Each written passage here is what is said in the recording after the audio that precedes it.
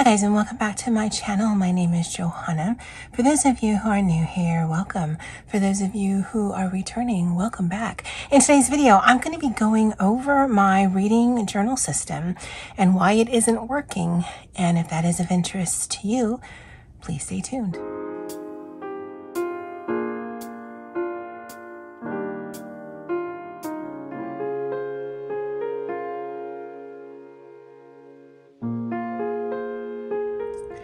Now this probably is going to be a very chatty video, and so I will timestamp when I actually start showing you some things.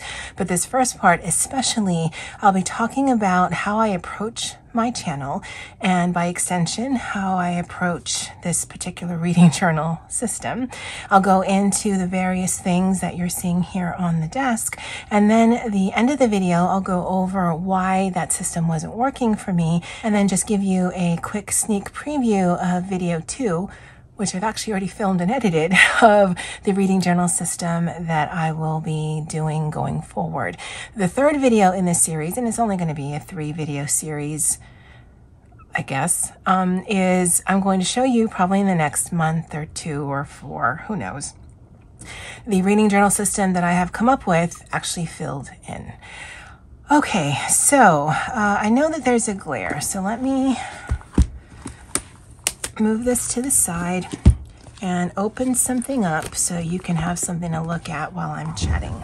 Okay, so the way that I approach my channel is uh, it's a channel for my creative journey, which is basically a fancy way for me to say this is my hobbies or these are my hobbies. And so I enjoy reading, uh, coloring, journaling, um, I don't actually do planning because I'm not a planner. I enjoy crafting and just sharing my creative passions with you.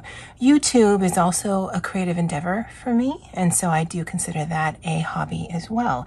And I want to say that because uh, if you've ever watched any of my videos, I can be quite a bit chatty, but because this is about my hobbies, I don't have people in real life, in my real immediate circle, that I can talk about these things to. And so for me, this is an extension of me just sharing my passions and talking about them. Uh, you're not going to see the beautiful flat lays or me lighting a candle or, you know, going through the forest or anything very aesthetic like that, like some of these videos are. You're not going to see me in front of a bookshelf because I'm not a booktube channel. You're not going to uh, see me ever call myself a planner channel, a journal channel, a color tube channel, a booktube channel, or a crafting channel. It is my hobbies. And because of that, the person that I want to please with my videos is me.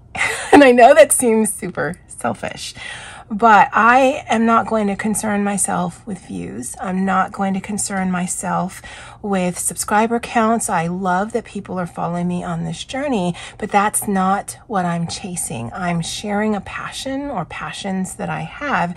And so you're not going to see things uh, that you might typically see on any one of those niched type of channels. Uh, because I'm not chasing that, I don't feel compelled to do things the way that you would consider either the standard or typical in those niche markets because there is a certain kind of aesthetic, a certain kind of way that, that things are done uh, because people know that it gets views. Now, are they also into that same aesthetic? I hope so. Are they sharing it because it's their passion? I hope so. But it can be a bit formulaic.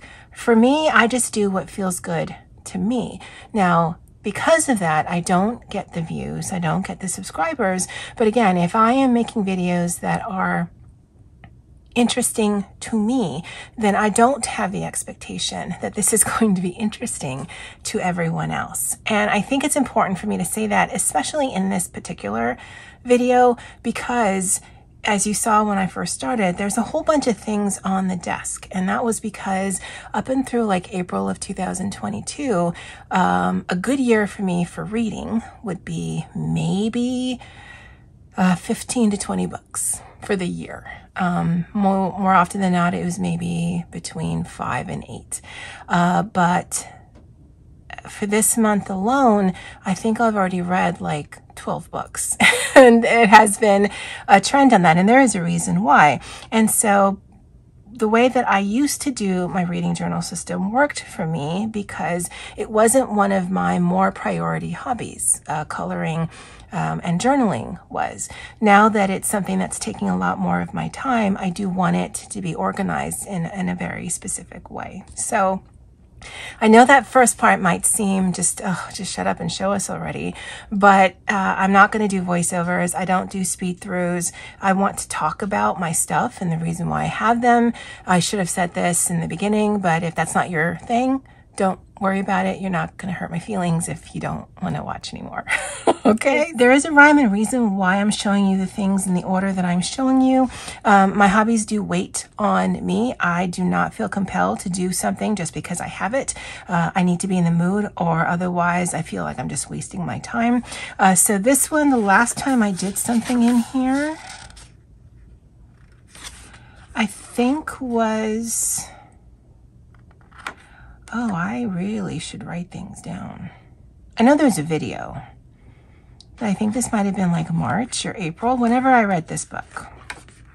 But yeah, this is my Primrosia A5 bullet journal. I did get this from Amazon. If you're interested in any of these things, just let me know and I can link them below. It has a linen cover, so I do actually put a plastic cover on it just because I do want my notebooks to look pristine. And this journal has a very specific function. So this is my reading, book, and movie journal. At the time that I created this, I wasn't reading a lot, watching a lot, either by way of movies or television. And so uh, this is absolutely an activity of creativity for me. I don't come in here often, but this I did, uh, in, was, I was inspired by the Bridgerton series on Netflix. And so in that uh, TV series, it is the Whistledown Papers, and mine, it is the Hannahdown Papers, Society Reviews. And it's just a little uh, sort of synopsis, I guess, of things that I've watched, read, uh, or TV's movies again, because it does comprise all three of those things. Uh, because this is a time consuming process, uh, it isn't a lot in here. So I watched The Witches, but the doodling art, because this really is about doodling and writing on a page, uh, I just uh, chose something I'd seen online and then I did all of these doodles and colored them in. This was based on the series. I actually should have started that first. And then this was a book that I had picked up from Walmart. And again, I based the cover art on uh, the actual cover of the book, which is very sketchy. And the seam uh, on it was uh, this, not quite this blue, it's actually a little bit darker, but I liked the play of that. And the rest of this is empty. And when I get inspired to put something in here, I will. But I did want to show you this because a lot of the things you're going to see are creative in nature. It's not something that I feel compelled to do on any kind of regular basis. To be honest, I wasn't doing watching, reading these things on a regular basis. This is my Hobonichi A6 Techo Avec. This cover was sent to me. I didn't actually ask permission if it was okay to share her name, but you know who you are, and I am so thankful for it. And uh, I'm hoping to actually repurpose this uh, either in the new year or repurpose this journal and just keep it on here. Again, I don't know because I do want some of the new One Piece things that are coming out for 2023. Now, this is something that I had started in the latter part of 2021, and this was going to be a daily journal as this a6 Hobonichi Techo Avec is supposed to be. And so what I had done was all of those monthly calendars, let me see if I can show you that look like this, I knew I didn't need that. And so I actually had started doing this in December 2021 because this is supposed to start January 2022. And it was just going to be something that I was going to collage uh, every single day to sort of commemorate because even though I don't live um, an endless loop of Groundhog Day, my days are very similar. So I thought, okay, well, can be sort of like a a collage book, glue book, whatnot, of the just the various things that I wanted to commemorate. Well, this very quickly kind of fell to the wayside because it's just, it's a lot of work. And because I do have quite a bit of hobbies, uh, yeah, I just, I didn't find the time for this. And so I thought, okay, well, maybe instead of a daily journal, I can do a weekly journal or a monthly journal. And again, all that fell by the wayside. But I wanted to show you this in this particular video because I do like seeing the book covers of the things that I have been reading in here. Now, all of the uh, images you see here uh, are from my, what's it called? My HP Sprocket yeah, HP Sprocket. And I love the look of that, but those can get kind of expensive. so uh, for the reading journal that I'll be doing, I'll probably just uh, pull images offline and just uh, print it in color. But because I knew I liked the look of this, this is something that's going to carry forward, although in a, in a much different iteration. But because it does have some book related content in here, I did want to show this to you. Now, what I'm thinking for the rest of this, because I actually only had done some collaging up until here, I think when it comes into the daily pages, uh, I might do some text, I might do some anime. I do like my journals to have a purpose, uh, but I also don't mind if I need to repurpose something because I know I'm not going to be doing this. But again, this is my Hobonichi A6 Techo Avec. This is a minimalist art um, A5 journal. Um, A5 is my preferred uh, size, and this was absolutely inspired by Tori of Creative Mind Coffee Grinds. This is a junk drawer journal, so basically it's a notebook because it just has anything, but the majority of the things in here are either journal, book, or movie related. Like this was a book that I thought I might want to put into my Primrosia journal. And so I did want to have uh, some thoughts down and some ideas on cover art. And because I wasn't watching or reading a lot at that time, this was easy enough to try to maintain. But as I go through this, you're going to see that kind of fell to the wayside. Now, fortunately, I can generally look at things and think, oh yeah, no, I, I remember this and I, I read my thoughts. But when I was setting this up, my whole thought process behind it, okay, so just so that I know, I read this in February. So what I did in that Primrosia journal had to be sometime after that. Um, but my whole thought process was I'll put it in here and then I can divert it into other things. And because I wasn't reading or watching a lot, um, it was easy enough to maintain. But as I read more, watched more, then it's like, yeah, I don't know uh, that I can maintain it or that I even want to. And so some things I put down, all these squares were supposed to be my just quick rendition of what I wanted the cover art to be, just so I have an idea of what I wanted to go into my Primrosia journal. There's always thought processes behind the things that I do. This was just some testing of some um, art that I was going to do. But uh, I didn't realize that I would just be consuming so much content. And because of that, it just, I think I stopped around June or July. And okay, I did this in August. But then there's nothing else in here just because, uh, yeah, it it just didn't make sense to do it in this fashion because there was just so much of it that I was doing. So uh, again, this is going to be just an ideas notebook for me. It just stays on my shelf. And so, you know, my hobbies wait on me. I'm not uh, dictated or directed by my hobbies. And so that's that one. Now we get a little bit more functional. So this is my long-term reference journal. And even a lot of this I had scrapped because I'm no longer doing things this way. But when I had done this, I had started this in January 2021, I did what you typically see in journal videos. I did a table of contents. I I was pretty sure I wasn't going to use this the way that it should be because I actually enjoy flipping through my journals, but I thought it'd be interesting just to try. And this was a place where I was just going to track various hobby information that I wanted because some of the other things uh, might get discarded after they're full, but this, because it is such a thick notebook, this is a Maisie Lane Co., again, that I've covered, um, I thought, okay, well, this is going to expand a few years. And so at least I'll have all of the data in one place. So for 2021, I had read 16 books. And then for April and May alone, two, four, six, eight, nine, 10, 12, 14. I had read 16 books, or at least that's how many that I listed here. And when I was only reading between 7 and 15 books a year, well, yeah, this system makes sense, and I didn't feel I needed it all in one place. And so I've got some of the things here. I ran out of space on this bookshelf, and so it goes back here.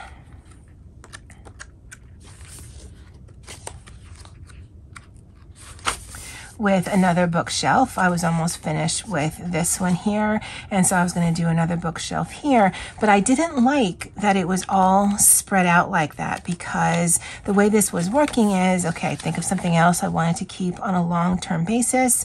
Again, as you can see, I fell by the wayside because I was just watching a lot more. And as I determined, okay, that works, that doesn't, that never worked, I don't know what I was thinking, uh, this works, but I'd like it to be more functional, then then I realized that, yeah, this just isn't going to work for me. But I don't throw things away.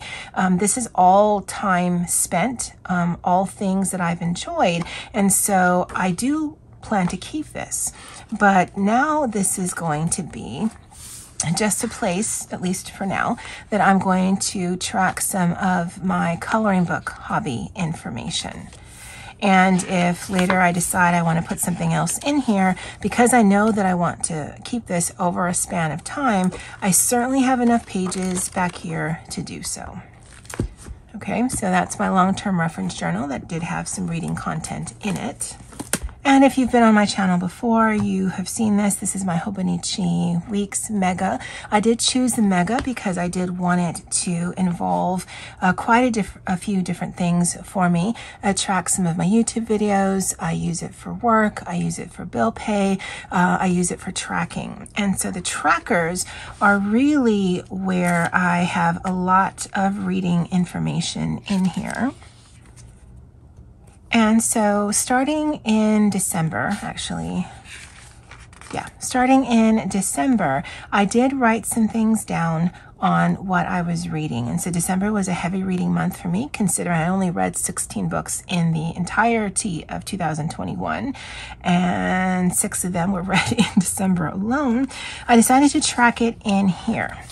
And so as I go through, the first part of 2022 was very short on books. I actually had um, gotten really back into my adult coloring.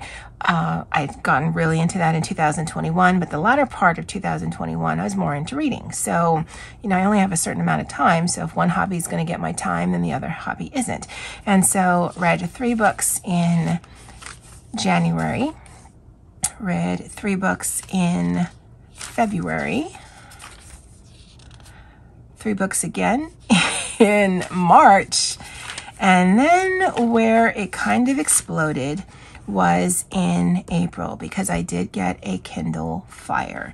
And I have to tell you, even though I was so anti ebook, the amount of ebooks that I have consumed in the last few months is it's not extraordinary to me because I used to be a very avid reader, but uh, it is more than I anticipated. And because I read a lot of Kindle Unlimited books, it's a monthly subscription, uh, and because Instagram knows it can uh, recommend books to me and I'll at least go check them out, I have just been consuming so much. In fact, um, I only read maybe one or two physical books a month, and then the rest are ebooks. So for April alone, two, four, six,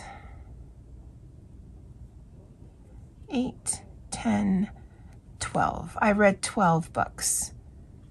And it just kind of goes from there. I average between 13 and 15 books a month. Now, if you haven't followed me, or even if you haven't, I am a notorious skimmer, skipper, back of the book gister.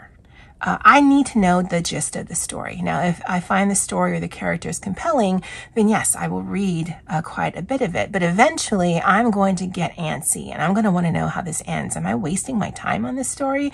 If I don't like a story, I have no problem just stop reading it and then, you know, who cares? But because of that, I can consume a lot of content. And my whole philosophy on that, and this has been my philosophy for years, is if I like a book well enough, I will read it and read it and read it again. And because I don't read every single word on every single page, when I reread it again, there's always content that I did not realize happened in my first read through or my fifth read through. There is a book series by David Eddings that I am reading that I read when I was in middle school that there are certain things I'm like, oh, I didn't know that happened or I forgot that happened. And it's just all fresh and new to me. That's just my reading style.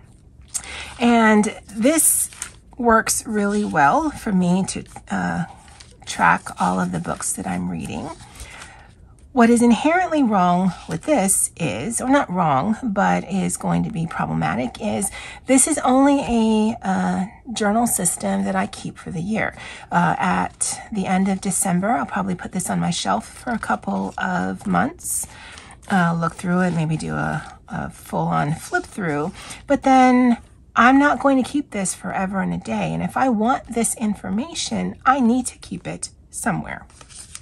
I did have an actual uh, section back here when I started out this in December that I was going to do as a reading journal. I never actually filmed a video about this because I wanted to play catch up. And so I wanted it to be just a little bit of my thoughts on the various books and put some quotes down. Well, I don't annotate while I'm reading. And so I'd have to go back to the books to uh, just find quotes that I thought were cool because there and oftentimes when I'm reading things, there are lots of things that I find cool, but I don't highlight, I don't annotate, I don't do any of that. I'm just really trying to get the story. And uh, I love the look of it, but I realized I don't really care about putting my thoughts down on every single book that I'm reading. And at the time, I wasn't actually reading a lot. But as I read more, I'm like, yeah, there's certainly books that I don't care to ever write my thoughts down that I'm never going to read again. And it kind of solidifies as I try things what I want to do, want to track, and what I don't. And that's why this reading journal system doesn't work for me because my long-term reference journal, it was too scattered. My Primrosia journal, my junk journal, and that A6 Techo uh, are really, for me, more so creative endeavors than really tracking any kind of data or information. This tracks a lot of information, probably not in the, the most functional way, but at least uh, because I always have this with me, I can put that information in there. And so what what I have started, and I'll give you a sneak peek, is this here. This is another Maisie Lane Co. that I have covered because again, I do like to keep my journals pristine. And this is going to be just fully a reading journal. There's nothing else in here. And uh, I do plan on doing annual section and then monthly sections and then some journaling sections of books that stand out to me um, more than other books have because there there are books that have done that. I won't show you any more than this. Uh, I did want to go back to 2021 and put this in uh, just because in that red Maisie Lane Co. Uh, journal, that's when the data started. I don't actually have any data uh, that I know of from before that. I know I've done stuff. I just I didn't write it down, or if I did, I don't, I no longer have those journals. And uh, this will be my long-term reading journal. I've already filmed the video for this, so this should be coming out in the next few days after this video. And I'll talk a little bit more about why I think this system is going to work a little better for me. I'm hoping this video is at least mildly interesting to you guys. Um, I definitely am someone who likes to figure things out as I go along. I see a lot of videos here on YouTube about reading journals and journals and whatnot. And some of those things work for me, some of those things don't.